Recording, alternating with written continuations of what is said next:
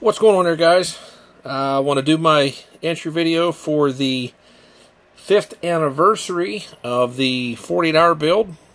Uh, this year it's being hosted by uh, Craig, uh, better known as Mutt Modeler. Uh, running a little behind schedule here. Uh, it's just a, I guess it's about 9:30 uh, Eastern Standard Time, so I'm running a little behind on the eight ball.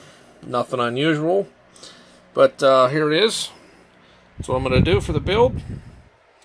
It's the uh, new re-release of the AMT Gear Hustler.